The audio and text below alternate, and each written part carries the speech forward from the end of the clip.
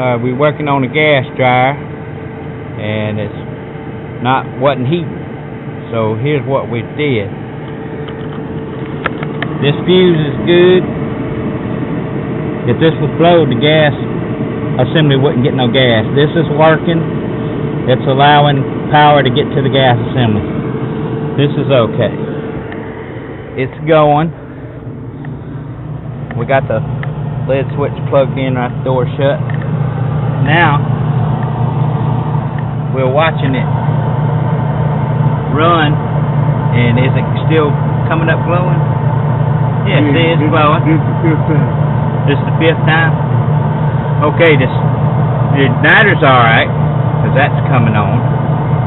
And when that kicks back off, that means that bimetal inside that sensor's kicking it off, so it should be allowing gas to come.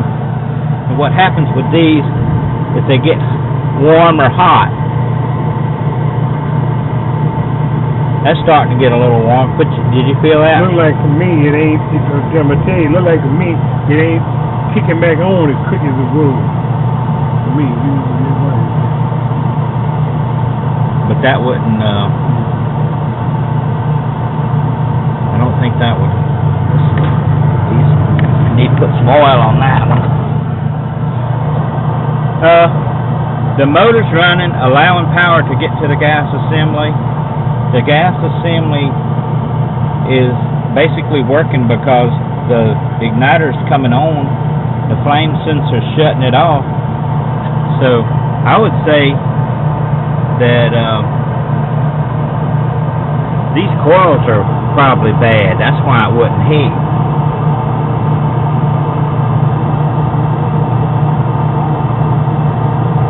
We ain't got no problem. We got some coil put some more coils on it. Try to. I got some in that uh, box of dryer parts that I got in the trunk. I don't know if they're any good or not. They might, but I don't usually. Put them up. I don't usually put the bad ones back in the part box. That'd be kind of stupid. Mm, anyway, um, let's uh.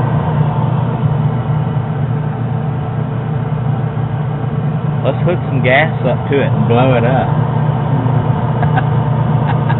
Where you want to go? You know for a fact you had it to gas, the gas was on and everything, right? Mm -hmm. Okay. Alright. Go to the next step. Do do do. Sometimes you can't put you don't push them in far enough and they'll give you trouble.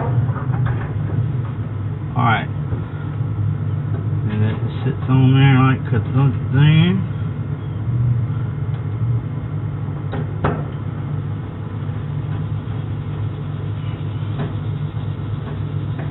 Cut these screws back down. Ain't no. Alright, now cut her on, plug her in. Let's blow her up. See if she'll fire off.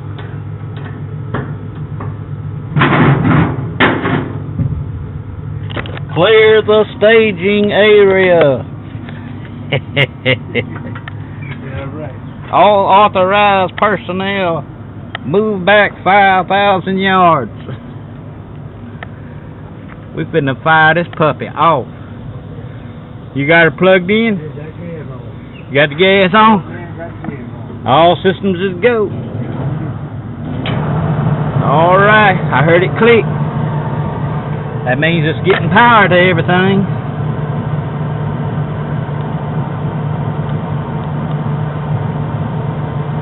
I've got my hand on the door over here. I can open the door right quick.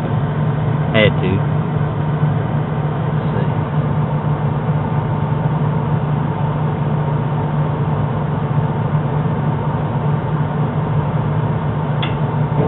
Ha ha! Houston, we have ignition! Alright. Alright.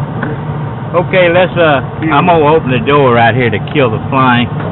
Yeah, see, I opened the door and that killed it.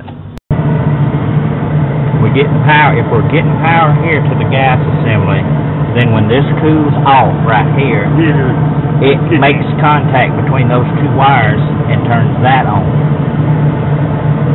Okay? And then that will come on, but these will not energize because this is pulling too much amp draw to make it do it. So what it has to do is it's wired in a way that all this complicated wiring. See it click on in? Alright, what it's got to do is it's got to go ahead and heat up this filament on this igniter and then when it gets so hot, all these are energized right now. That thing's energized, that thing's energized, all these are energized, but these can't come on yet because this is still in the circuit. So that thing bends, shuts that off. Now, that igniter is now a thermocouple. If for some reason the gas didn't light, the igniter would cool down and the coil would cut off. So it's even cycling now. So we can put this puppy back together. Mm-hmm.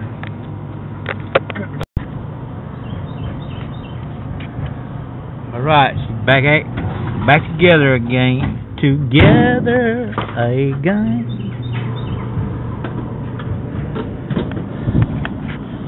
That right there is a little peephole where you can look in there and see what's going on. Did that see it glowing in there? And why ain't it firing off, James Judd? Because we forgot to pay the gas it.